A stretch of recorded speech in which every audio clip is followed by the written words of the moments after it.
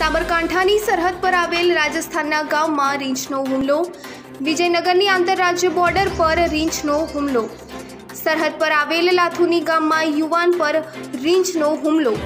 લાકડા લેવા ડુંગર પર ગયેલ યુવક પર રીંછે કર્યો હુમલો. યુવકે બૂમાબૂમ કરતા લોકોએ છોડાવી ઈડરની ખાનગી હોસ્પિટલમાં સારવાર અર્થે ખસેડ્યો. ઈજાગ્રસ્ત યુવકને પચીસથી વધુ ટાંકા લેવા પડ્યા. Reporter Mukesh Dodhiyar, prime India news Sabarkantha.